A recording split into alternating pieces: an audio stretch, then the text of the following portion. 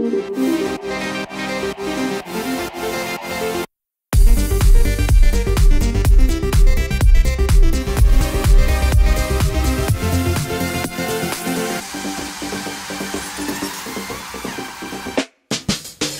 Hello again. Uh, I'm Murphy Baker. I was featured in the first season of Making Mavericks. You may remember I was gearing up to be a naked mole rat. But since you guys last saw me in my naked mole rat costume, I uh, traded that for a cap and gown and I graduated.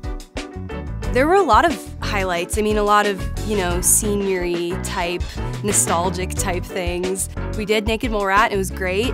It went off without a hitch, as far as I remember. We did eight live shows, which is crazy for the time that we were in. It's kind of hard to imagine. We were one of the only schools in the country that got to do theater, live theater, um, in this pandemic. And we did it safely and we did it successfully. It was it was really really cool to just get to do that and and end my senior year on a high note with performing. Last time I was here, I was talking about moving to London, but it's not what I'm gonna be doing right now. And I'm gonna be moving to New York. I'm shooting for August 1st, so hopefully August 1st I can send you all a postcard from the Big Apple. I've been there a decent amount of times, enough to know that that's where I need to be. There's worry, but there's also like a blind confidence of a 22 year old who just graduated college. Like I think that the one that I'm riding on right now is is excitement, but I'm sure on the plane it'll be dread and fear, but then hopefully when the plane lands it'll be okay, cool, excitement again.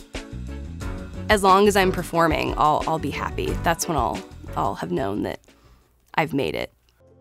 I think that my four years at CMU have taught me a lot about myself, um, of course on the performing side, but also just on the Murphy side. It's a lot less scary kind of going out into the real world when you know that you have this place to come back to and these people.